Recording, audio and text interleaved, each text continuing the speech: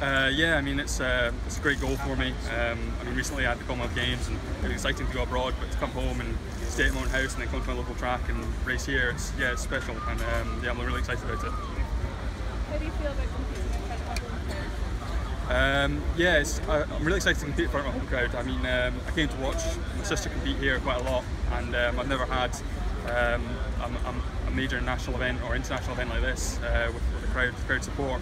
Um, so I'm really looking forward to it, especially with uh, the atmosphere I saw at some of the races uh, at the Commonwealths um, when they were here in 2014. Uh, it'd be cool to be a part of that, especially knowing how uh, well received these events are with a you know closed velodrome and um, everyone can see the whole event across the track, so people get really involved.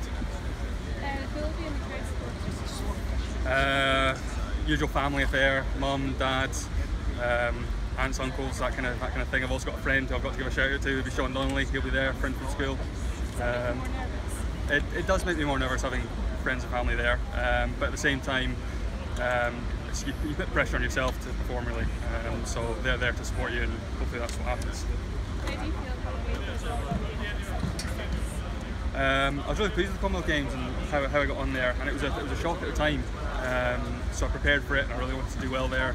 But the result I got wasn't what I was expecting, and I was, you know, of, uh, well, really happy with it. So coming here with slightly different expectations and uh, hoping I can, can, can, match them really. What are your aspirations for the Championships? Um, it would be to, to make a final really, and then once you're in the final, top four, you can start to think about medals. Because um, in the back of my mind at the moment, I still need to do something extraordinary to, to get to that level.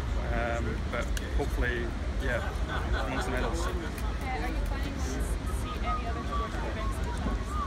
Um, I'd like to see some other sporting events here. Uh, I've not got any tickets for anything at the moment because uh, I'm so focused on these on these on the velodrome events. But having a background in swimming, I'd be interested to see what's going on in swimming. And then uh, the mountain biking, um, I watched the first time at the Commonwealth Games um, in, in, Australia actually, and I really enjoyed that. So that'd be cool to watch. Um, so the ones where you can turn up on the day, and the road race, for example, and spectate on the day will be yeah brilliant. Thank you.